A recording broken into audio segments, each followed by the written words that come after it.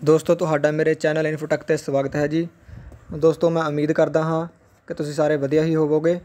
ਆਪਾਂ ਕਾਫੀ ਸਮੇਂ ਤੋਂ doctor B R Ambedkar ji ਪੁਸਤਕ ਪ੍ਰਤੀਯੋਗਿਤਾ ਬਾਰੇ ਤਿਆਰੀ ਕਰ ਰਹੇ ਹਾਂ। ਮੈਂ ਉਮੀਦ ਕਰਦਾ ਤੁਸੀਂ ਸਾਰਿਆਂ ਨੇ ਤਿਆਰੀ ਕਰ ਲਈ ਹੋਵੇਗੀ ਤੇ ਕਾਫੀ ਸਟੂਡੈਂਟਸ ਕਹਿ ਰਹੇ ਸੀ ਕਿ ਪੰਜਵਾਂ ਤੇ ਛੇਵਾਂ ਭਾਗ ਅਪਲੋਡ ਕਰੋ, ਕਿਉਂਕਿ ਹੁਣ ਵੀਡੀਓ ਬਣਾਉਣ ਦਾ ਟਾਈਮ ਤਾਂ ਹੈ ਨਹੀਂ। ਨਾ ਤੁਹਾਡੇ ਕੋਲ ਟਾਈਮ ਹੈ ਕਿ ਤੁਸੀਂ ਵੀਡੀਓ ਦੇਖ ਸਕੋ, ਕਿਉਂਕਿ ਵੀਡੀਓ ਬਣਾਉਣ ਵਿੱਚ ਵੀ ਕਾਫੀ ਟਾਈਮ ਲੱਗ ਜਾਂਦਾ ਹੈ। ਤੇ ਇਸ ਕਰਕੇ ਮੈਂ ਵੀਡੀਓ ਨਹੀਂ ਬਣਾਈ, ਪਰ ਮੈਂ ਤੁਹਾਨੂੰ ਆ ਪੀਡੀਐਫ ਕੁਝ ਅਪਲੋਡ ਕਰਨ ਜਾ ਰਿਹਾ ਹਾਂ, ਜਿਸ ਵਿੱਚ ਪੰਜਵਾਂ ਭਾਗ ਅਤੇ ਛੇਵਾਂ ਭਾਗ ਅਤੇ ਸਾਰੀਆਂ ਇੰਗਲਿਸ਼ ਦੇ ਕੋਟੇਸ਼ਨਸ ਹਨ।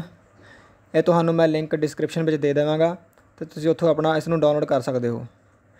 ਤੇ ਇਸ ਵਿੱਚ ਪੰਜਵਾਂ ਭਾਗ ਸਾਰਾ ਹੈ ਤੇ ਛੇਵਾਂ ਭਾਗ ਹੈ ਤੇ ਸਾਰੀ ਜੋ ਇੰਗਲਿਸ਼ ਦੀਆਂ ਕੋਟੇਸ਼ਨਾਂ ਹਨ ਐਂਡ ਤੱਕ, ਉਹ ਸਾਰਾ ਮੈਂ ਇਸ ਵਿੱਚ ਅਪਲੋਡ ਕਰ ਦਿੱਤਾ ਹੈ। ਤੇ ਤੁਸੀਂ ਇਸ ਨੂੰ ਡਾਊਨਲੋਡ ਕਰਕੇ ਜਲਦ ਤੋਂ ਜਲਦ ਪੜ੍ਹ ਲਓ। ਤੇ ਬਸ ਬਾਕੀ ਤੁਹਾਡੇ ਪੇਪਰ ਵਾਸਤੇ ਤੁਹਾਨੂੰ ਬੈਸਟ ਵਿਸ਼ੇਸ ਪੇਪਰ ਆਪਣਾ ਵਧੀਆ ਕਰਕੇ ਆਇਓ, ਧਿਆਨ ਨਾਲ ਕਰਕੇ ਆਇਓ। ਤੇ ਦੋਸਤੋ, ਧੰਨਵਾਦ।